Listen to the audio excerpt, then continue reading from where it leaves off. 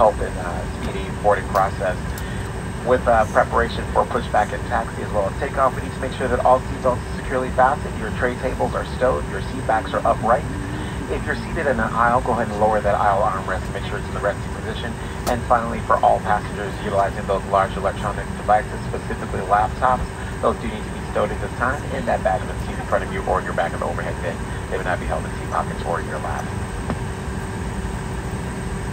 Flight attendants arm doors for departure, cross-check and all call.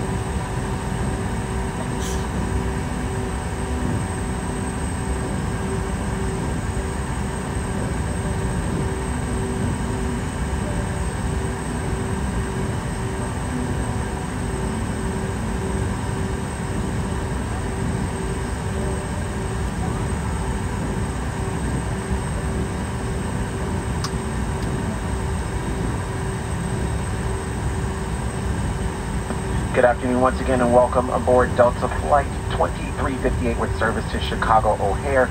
My name is Jason. It gives me great pleasure to serve as your flight leader on this afternoon's flight. I'm accompanied by two other fantastic and fully capable Detroit-based flight attendants. We're going to do everything we can to make sure the next 56 minutes of your lives are the safest and most comfortable as possible. With your safety in mind, we do have a brief demonstration of the features of this Boeing 717 aircraft. If you could please give your attention to the flight attendants in the aisle for just a few moments, that'd be greatly appreciated. Thanks again and welcome on board.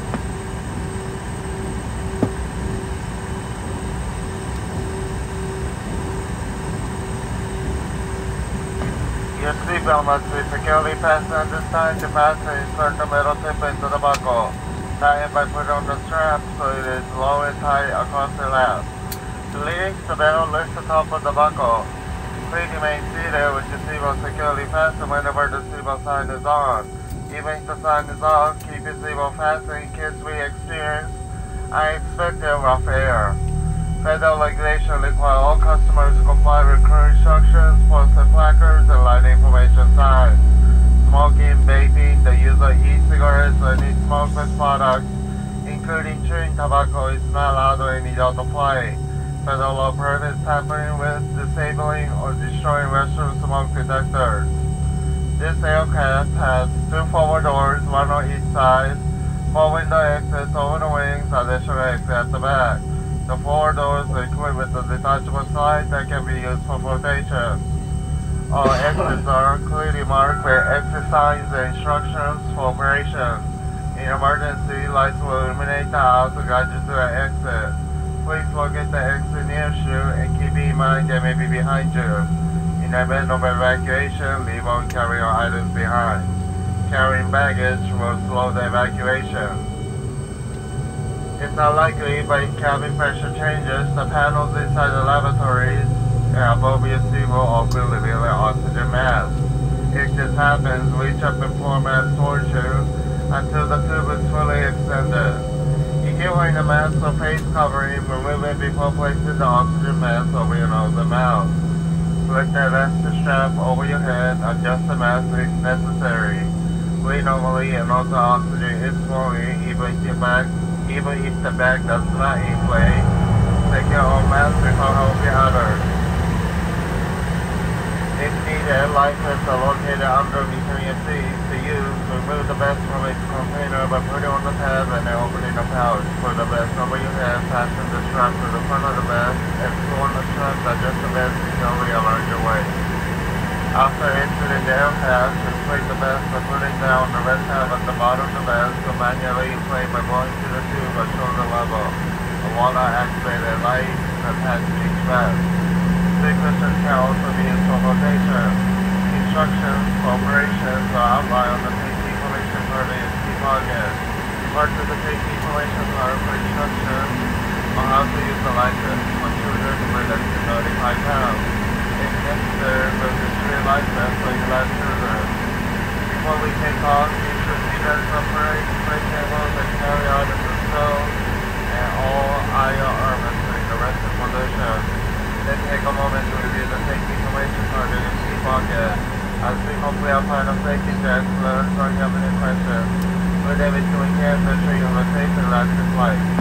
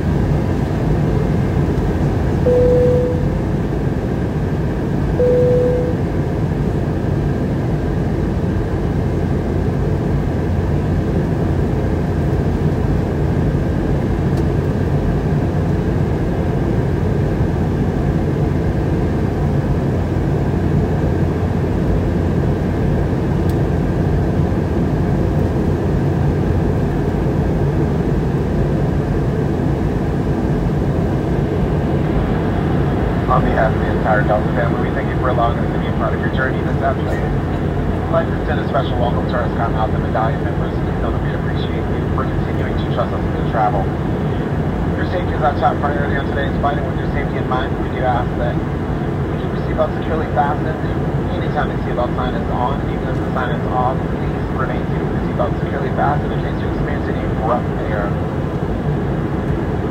If and when it is safe to stand, we want to remind you to exercise caution when you open those overhead bins as items inside may have shifted during takeoff, and please keep the aisle clear of any potential trip hazards.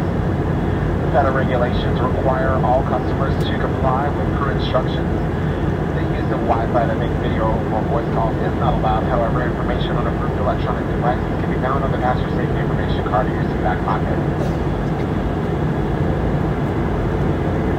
Due to the short duration of our flight today, we will not have the opportunity to provide service in the main cabin. And per the captain's instruction, with turbulence expected throughout the duration of today's flight, we will unfortunately not have the opportunity to provide service in the aircraft as well. So we do ask, with your safety in mind, that you please remain seated with the seatbelt securely fastened. Another note is that federal regulations prohibit consuming alcohol you may have brought aboard with you. Should you need anything, if there is an emergency, please feel free to uh, use that flight center call light button. Otherwise, if there's anything we can do to make your flight more enjoyable, please don't hesitate to ask. For now, sit back, relax, and try to enjoy this slightly bumpy 56 minute trip to Chicago.